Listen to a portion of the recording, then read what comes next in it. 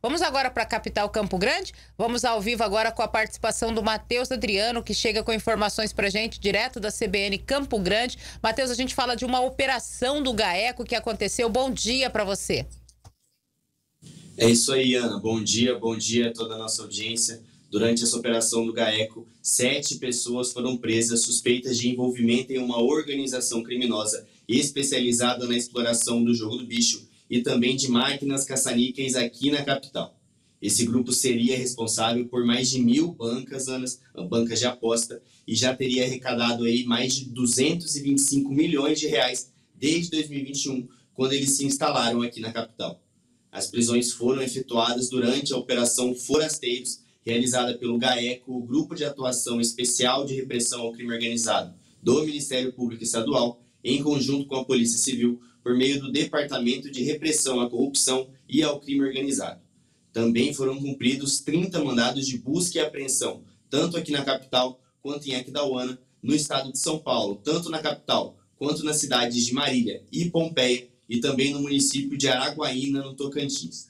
Essas investigações começaram há cerca de nove meses e revelaram a atuação dessa organização criminosa auto-intitulada MTS.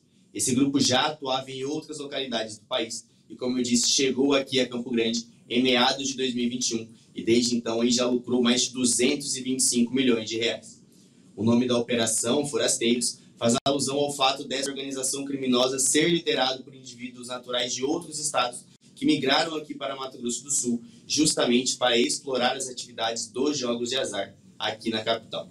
Mais uma operação então aí do Ministério Público por meio do GAECO para combater os jogos de azar. Esse ano tem ocorrido algumas operações, a Polícia Civil também já realizou algumas aqui na capital. Então, aí mais uma organização criminosa sendo capturada.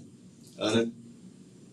Pois é, Matheus. Ô, Matheus, mas aproveitando a oportunidade, eu gostaria de saber como que está o tempo aí na capital. Aqui em Três Lagoas ontem foi um vento, é fogo, fuligem, umidade do ar relativa baixa, muito calorão. Ontem à tarde estava o céu cinzento em Três Lagoas. E aí na capital, como que está o tempo?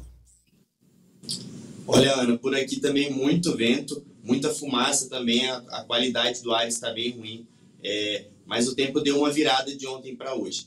Ontem já tinha caído um pouco a temperatura, hoje aí com a chegada de uma frente fria, essa temperatura caiu ainda mais. Agora a gente está, nesse momento, fazendo 19 graus aqui na capital, o tempo fechado, sem sol, é, tem previsões de pancadas de chuva, então o tempo mudou bastante. Nos últimos dias, a temperatura máxima aqui na capital passava dos 30 graus, chegava ali aos 36, 37 graus. Para hoje, a máxima é de 27 então tá bem fresquinho, realmente uma mudança no tempo aqui em Campo Grande.